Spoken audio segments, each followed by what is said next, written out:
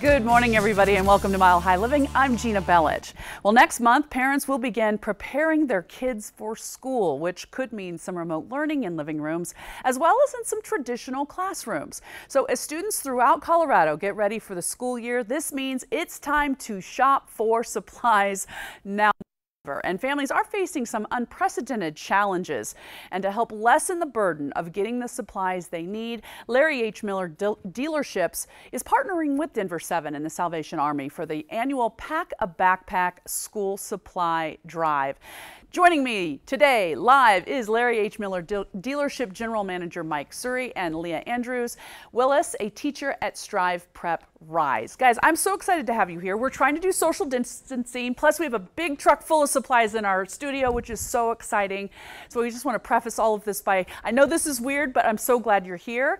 First, Mike, we're going to start with you. And basically, you, you, you're, you're joined this movement, really, and I like to call it that, for to to, to help youth and education inif- initiatives. Talk about why this is so important for you guys. Yeah, well, Larry H. Miller Dealerships is a family owned company that, that really understands the value of investing in youth. And the education as a whole is a cornerstone for a strong future.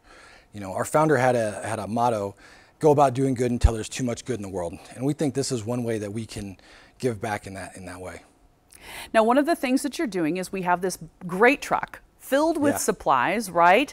Now, how can the community help fill a vehicle like this full of supplies? So this is what you'll see when you walk into any of our metro area dealerships. Um, so, you know, we're, we're looking for, for the basic necessities that, that kids are, are needing for the school year, such as backpack, pens, paper, crayons, um, and, and much more. You know, we're just asking that when people go out in the community and they're actually buying supplies for their kids, they just pick up a couple extra things and then stop by any of one of our stores and donate.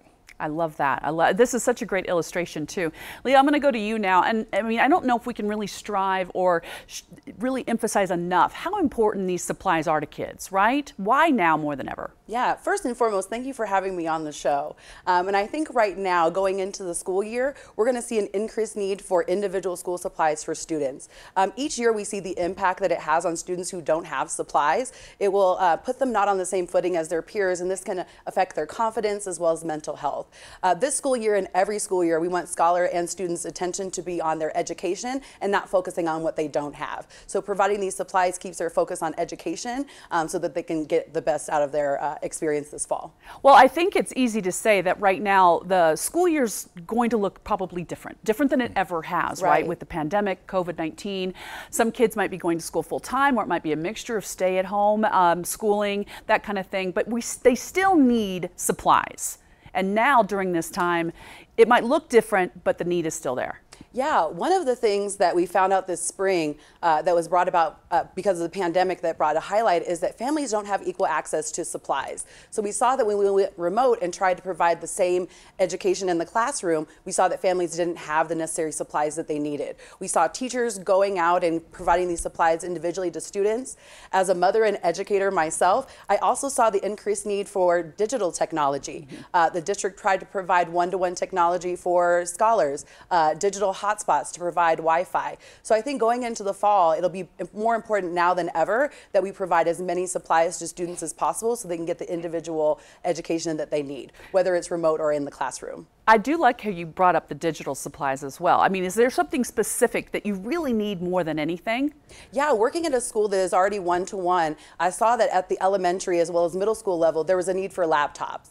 Uh, so if anyone is able to provide technology as well as Wi-Fi hotspots, because um, it's one thing to have a laptop, but having access to the internet is another. Um, so that could be another resource or um, supply that could be provided this fall. I do know too that when my boys were um, at home, all of a sudden headphones were breaking and things like that that we thought we had plenty of, and oh, this is fine. But boy, I was buying more of this stuff because they were trying to figure out and listen at home. So that's something else I know that at home I was as a mom were going, didn't we have enough of this stuff already? Absolutely. All right, Mike. Let's also talk again. Where can people drop off supplies to help your to help the need? Yeah, so all of our, um, our area, uh, metro area dealerships are accepting donations as well as our Boulder location.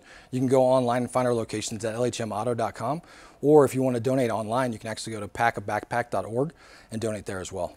It's really nice. I think a lot of people do want to help. They don't know how. Maybe they don't even want to leave the comfort of their yeah. own home, but they can still stay at home, log on, and help that way as well. Before we go, we want to talk about this great big red truck you got here. I mean, I know we're focusing on everything on inside, but this is a beautiful vehicle. Yeah, we're finding a lot of people are spending a lot of times in their vehicles now, a lot more time in their vehicles now. Uh, this is a perfect truck, 2020 uh, Ram half ton, uh, special night edition. But it, it, it's really one of those things that that uh, provides creature comforts with the ability to go off-road camping. A lot of my friends are doing a ton of camping right now, so right. this is the right type of vehicle for that. Absolutely, guys. Thank you so much, Leah, Mike. We appreciate you being here. We keep the truck here. We'll, we'll, we'll, we'll take care of it for you. All right, let's remind everyone the Denver 7 Pack a Backpack Drive runs through the end of July. Supplies can be dropped off at any Denver metro area and Boulder Larry H. Miller dealership locations. And to learn more on how you can help, visit thedenverchannel.com slash pack a backpack or stop at the nearest dealership showroom. You can also donate directly at Pack a Backpack, pack.org packabackpack.org. There you go. Just $15 provides a backpack filled with supplies. Special thanks to our Pack a Backpack partners, Larry H. Miller Dealerships, and the Salvation Army. Stay right here.